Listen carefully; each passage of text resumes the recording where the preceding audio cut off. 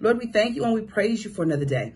We thank you for your power, your grace, your love, and your mercy. You said you give us brand new mercy every single day. And so we thank you for that, God. I thank you that we will carry your love throughout this day that will represent you well, that will keep our minds stayed on you, and you'll keep us in perfect peace. I thank you, Lord God, that we have no reason to fear, to stress, to worry, God. You told us to be anxious for nothing, God, but we'll rest in you, glorify you, magnify you, God. Trust that you are in control and you do all things well. God, even if things don't go the way we want them to go, you're still in control. There's still a purpose because God, we love you and we believe that you love us.